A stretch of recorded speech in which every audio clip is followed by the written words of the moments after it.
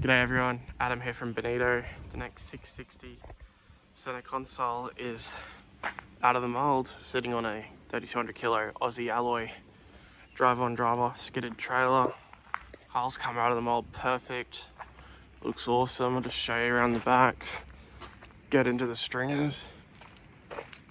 So I've still got the floor to go down, fuel tank to go in, lots to be done, but uh, we'll get the boat next door and into assembly.